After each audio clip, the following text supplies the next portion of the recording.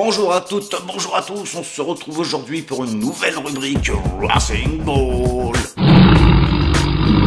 De quoi s'agit-il? Le focus de principe est simple, on fait un zoom rapide sur un pilote, un jeu, une compétition, tout ce qui est en rapport avec les jeux vidéo et notamment le sim racing.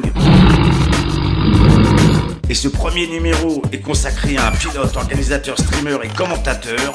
J'ai le plaisir de vous présenter Michael Martin, aka TSR Vampire de la team Racing, donc team e-sport maintenant en place sur de nombreux supports et parmi les plus anciennes de la communauté. Mais notre ami Vampire, âgé de 43 ans, a commencé sa carrière pilote sur 200 dans une team disparue sur PlayStation, la RC. Michael, comme tout bon joueur de jeux vidéo des années 70, a joué sur la NES évidemment, sur la Super NES, mais également sur l'Amstrad CPC 464 avec cassette monochrome qu'il possédait, car comme tout le monde, on avait tous un pote ou un copain ou un cousin qui avait, lui, la bonne console ou le bon PC à l'époque. Et évidemment, on essayait d'en profiter un maximum. Et sa première possession, c'était un Atari 520 à petite disquette sur lequel il jouait à Street Fighter, à Porsche 444 Super Cup, à R-Type, un jeu qui a marqué Michael également, c'est le fameux Track and Field, on se rappelle tous, hein, le jeu euh, cubique pour les Jeux Olympiques, on jouait sur PlayStation et ça, pour passer des soirées, c'était assez sympa à l'époque. Donc en vrai gamer, hein, a possédé un certain nombre de consoles, il a eu beaucoup de modèles depuis les années 80, 90, 2000. Il s'est lancé dans le sim racing en 2016 avec son pseudo Vampire 52. Il a rapidement rejoint la RCF. Puis cette dernière euh, étant peu présente sur PlayStation, il a rejoint la DSR. À noter le grand nombre de participations de notre ami Vampire à la ligue de course et à la communauté Racing Ball, évidemment, bien souvent. Il a hosté, invité, commenté sur les deuxièmes divisions, voire les premières divisions, et ça, c'est important de le souligner car c'est un fait marquant qui fait qu'il est extrêmement reconnu et connu dans la communauté. À noter également la participation de notre ami Vampire à la série audiovisuelle Racing Ball sur les épisodes 1, 2, 3 et avec l'épisode 4 qui est en cours de finalisation. Voilà, on en reparlera très prochainement.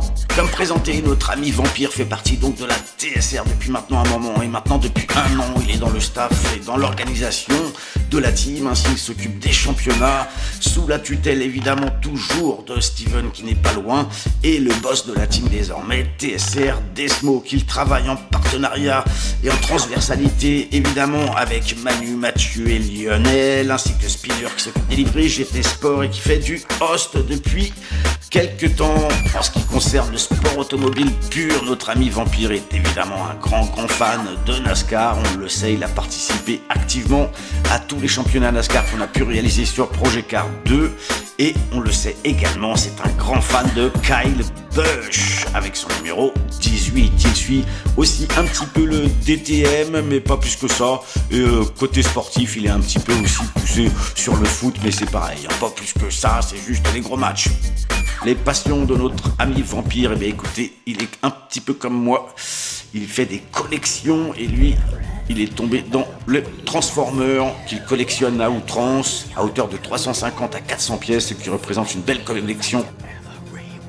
Ceux qui connaissent bien Michael, eh ben c'est un métalleux, il écoute du métal à fond dans sa voiture, chez lui, partout.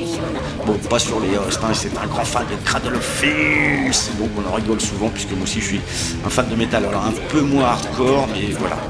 J'aime bien quand même certains morceaux de Cradle of Filth, dont celui-là. Elle adore aussi tout ce qui est en lien avec la culture nordique, évidemment, très à la mode en ce moment et depuis quelques temps, avec notamment la alors qu'il l'a pas forcément vu. Hein. Je l'ai vu en arrêt semaine, j'ai pu me taper 6 saisons, je l'ai vu, elle est super, regardez là, jusqu'à temps que Ragnar il meurt. Ah, je pas, il ne fallait pas le dire.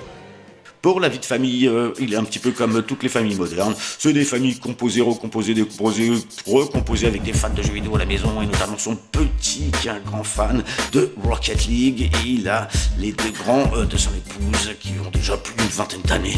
Donc là, c'est pour des parties endiablées sur des jeux vidéo un peu plus diversifiés.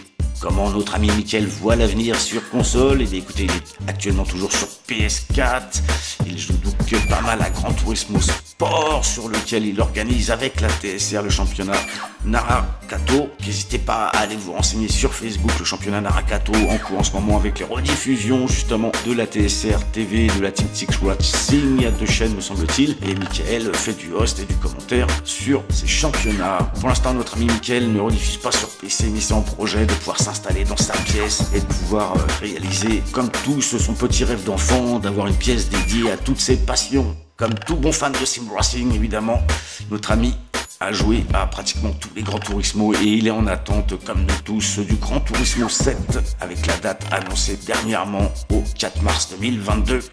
Un grand fan de NASCAR, Michael est également en attente du jeu NASCAR 21 avec le système dynamique du modèle de Air Factor 2, un jeu PC qui va donc prêter son modèle dynamique à un jeu de NASCAR pour la console. A priori, un jeu très pointu, très fin, mais donc un peu plus fin et un peu plus compliqué que ses concurrents, les séries des jeux hit. Et comme nous tous, il est évidemment en attente d'un jeu surprise de plusieurs jeux surprises sur PS5 et on aimerait vraiment la vraie suite à Project Cars 2. Quel son rêve, son rêve réalisable, ce serait de posséder une chargeur 1969 alors réalisable ou pas, on verra. Il est comment il adore les muscle cars et c'est aussi j'aimerais bien une chargeur 1969 ou Challenger. Vraiment, mais pour le coup, je pense qu'il y a toute la vie de famille et tout le reste qui passe en avant et éventuellement, comme on l'a dit, son studio de podcast. Et bien voilà, merci à tous d'avoir suivi cette rubrique Focus. On se retrouve très prochainement pour un nouvel épisode avec le Racing Ball, évidemment. Ciao, ciao.